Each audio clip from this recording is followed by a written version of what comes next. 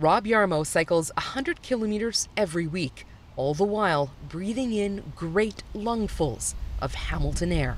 I moved into the area about four years ago, and I noticed that uh, both my wife and myself, our, our breathing is not as free and clear. Air quality issues are nothing new in the Steel City, but a new study found unhealthy levels of one carcinogen in particular benzo(a)pyrene, common in steel plant emissions. So just up where that yellow thing is? Yeah, just right These flying saucer shaped air monitors were set up across the city to measure pollution. The carcinogen was expected to show up in industrial areas, not the entire city. It just really surprised me at the extent. It's really affecting every urban dweller in Hamilton. The big concern how those elevated levels add up over time. The amount of benzo(a)pyrene that someone living in the worst areas is breathing in would be about the equivalent of smoking a cigarette a day.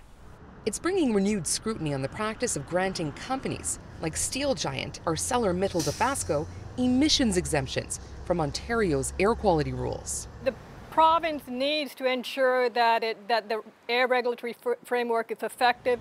including, she says, regular inspections for compliance. The Premier says the province is already trying to help the industry move away from benzo(a)pyrene emitting coal furnaces.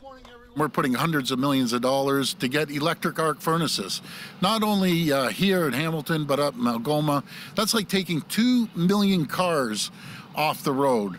But for some who live here, it's still unsettling knowing what is lingering in the air. I am concerned about it uh, long term. There's a thought uh, that, that we, we're going through right now that we might move in a year or two. And perhaps breathe a little easier elsewhere. Katie Nicholson, CBC News, Hamilton.